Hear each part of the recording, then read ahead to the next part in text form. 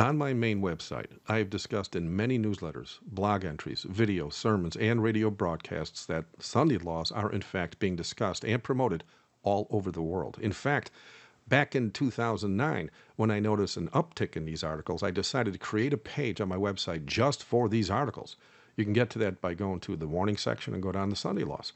Now, keep in mind, I don't go looking for these articles. I scan the news sites globally six days a week to find prophetic events happening in the news on many different topics. And quite often, I do come across articles about Sunday laws. And so I share them when they come up, if in fact they're not a repeat of a previous article, you know, because redundancy makes for a boring compilation.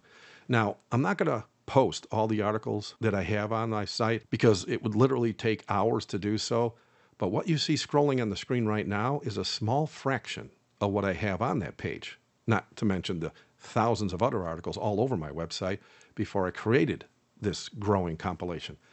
Uh, the reason I'm making this video now is to point out how blind the Seventh day Adventist people have grown to become when it comes to prophesied events. Because if you don't leave an apostate church and obey the Lord Jesus, you're not going to see these things, especially if you're under leadership that refuses to tell you about them. In fact, check this out. Yes, national Sunday laws will come, persecution will come, but nothing of that sort is in the pipeline at the present time, nothing that we have understood. Okay.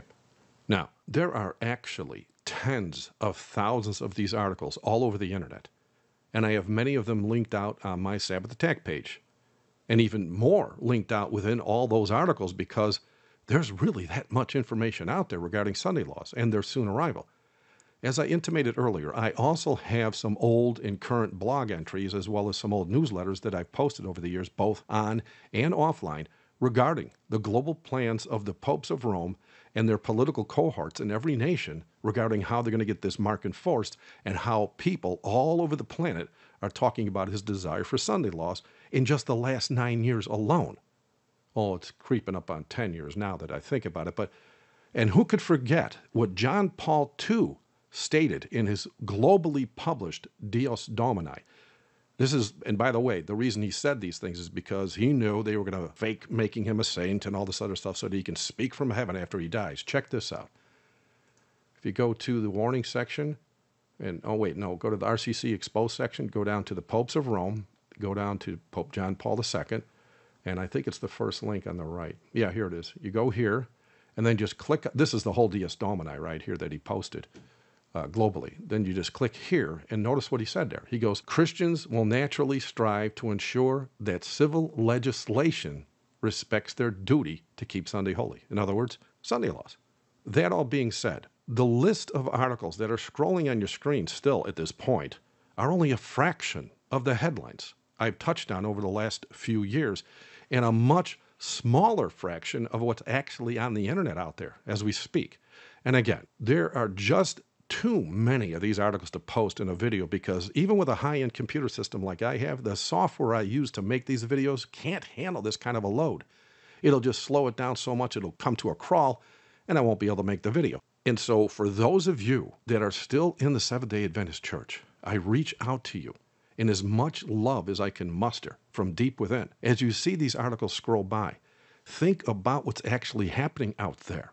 And then, as you contemplate all this, remember what your church president, Ted Wilson, said just last November. Yes, national Sunday laws will come, persecution will come, but nothing of that sort is in the pipeline at the present time, nothing that we have understood.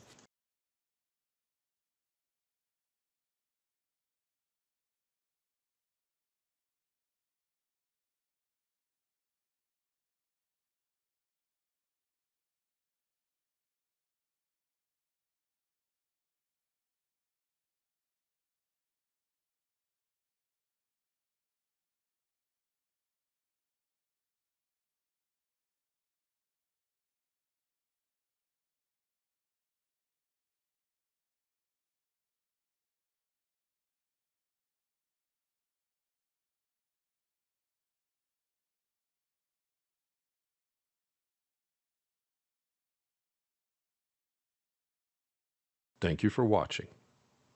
God bless.